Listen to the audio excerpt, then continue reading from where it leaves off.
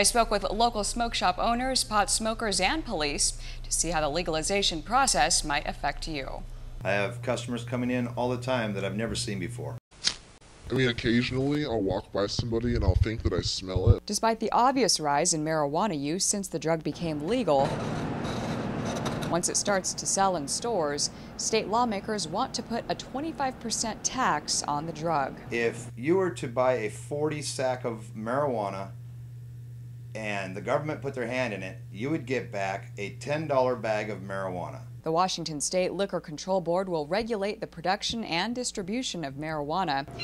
The State Office of Financial Management estimates the measure could raise $560 million a year in taxes. Tax rates are going to be ridiculous if they can even put in place a dispensary. Now that it is legal for adults to carry up to an ounce of pot here in Washington, Tim Adams, co owner of Hippie Smoke Shop, has noticed a spike in local crime smashed up mailboxes and are doing Drano bombs in mailboxes in, in the area of Kennewick.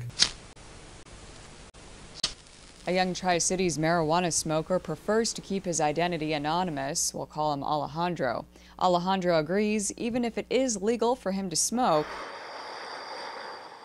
the new law won't be making the community any safer. Because now it's not that they're trying to find pot, it's they're trying to find that access that that excessive amount of pot that's bringing in crime to the Tri Cities. Since it's now legal to smoke marijuana here in Washington, drug recognition experts in Franklin County have seen about a 50% increase in the number of drug related DUI callouts countywide. A lot of people are very surprised to realize that you can be impaired on uh, illegal drugs and on on uh, medication that's been prescribed by your doctor. Corporal Gordon Thomason is also a certified drug recognition expert and says marijuana DUIs are just as serious as driving while drunk. It doesn't matter if you're on uh, impaired on drugs or alcohol, you're impaired and you can get a DUI for either way. Now that it's legal to be high and kind of have it, people are going to of course people are going to abuse the right. And the solution? Simple be responsible when they're taking their medication and or drugs. And if it's including marijuana you'll get a record and then what happens? You go to prison. Go to school. Lindsey adams action news in the tri-cities. Now, the State Liquor Control Board is developing rules for the up and coming marijuana industry with a possibility of digital tracking of inventory to prevent diversion to the black market. Sales are set to begin late this year.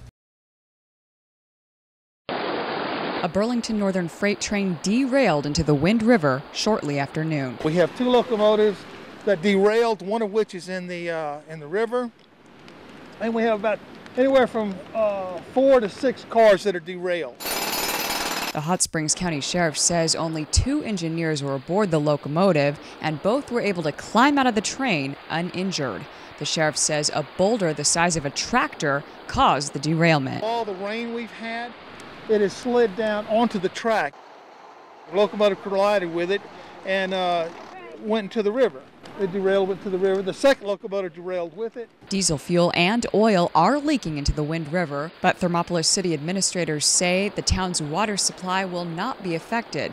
The town will operate on wells and a backup tank until the spill is cleaned up. Hot Springs County residents say they've never seen anything like this. Crazy. I actually raft this canyon. I guide it, so it's it's pretty amazing. I, I hope it doesn't affect the rafting. Police say that this is the third train they know of that is derailed in this canyon. Lindsey Adams, News 13 in the Wind River Canyon.